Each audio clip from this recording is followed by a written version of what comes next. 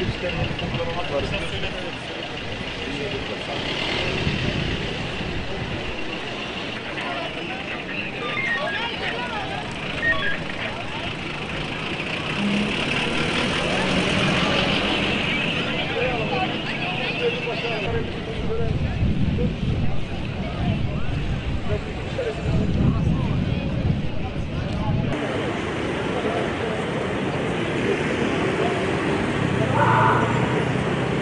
Evet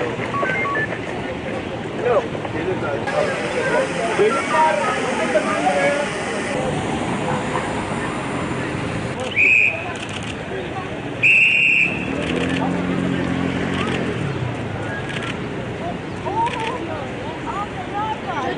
Ben çok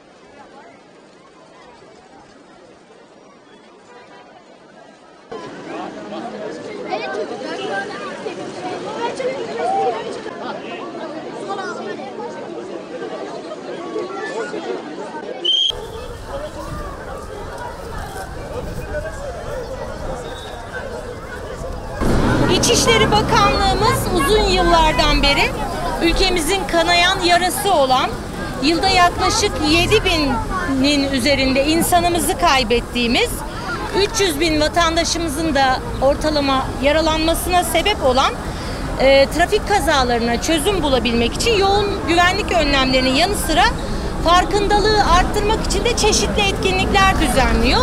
Bugün de bu etkinliklerden e, bir tanesini gerçekleştiriyoruz. Sizler de şahitlik ediyorsunuz.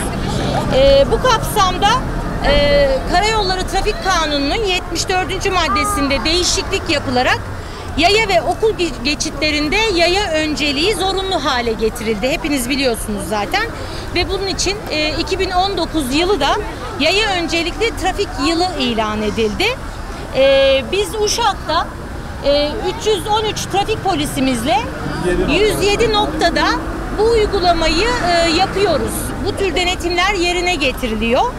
E, yaya e, güvenliğinin nöbetçisiyiz etkinliği ile e, yaya önceliğinin yaşam önceliği ile eşdeğer olduğunu vurgulamak, yaya geçitlerinin kullanılmasını teşvik etmek ve buralarda geçiş üstünlüğünün de yayalarda olduğu konusunda farkındalık oluşturmak için bugün yaya geçitlerimizde yerimizi aldık. Amacımız yaya ölümlü kazaların en aza indirilmesi, sağlıklı ve güvenli bir trafik akışının sağlanması, vatandaşlarımızın yaya önceliği, konu, e, önceliği konusunda bilinçlendirilmesi, insan hayatının her şeyin önünde olduğunun hatırlatılmasıdır. E, bu konuda toplum olarak göstereceğiniz duyarlılık bizleri daha güvenli bir geleceğe taşıyacak. Bu inançla etkinliğimizin hayırlı olmasını diliyorum. E, biliyorsunuz e, uygulamaları yapmak önemli değil, önemli olan insanlarda zihinsel dönüşümü yaratabilmek.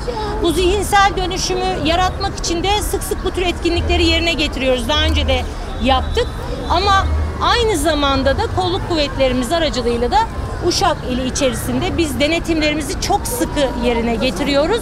Vatandaşlarımızı da tekrardan bu konuda duyarlı olmaya davet ediyorum. Çok teşekkür ederim. Evet.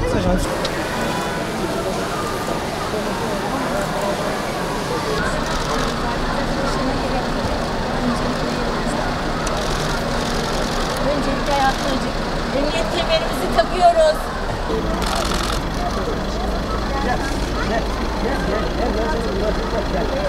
Biraz... İyi.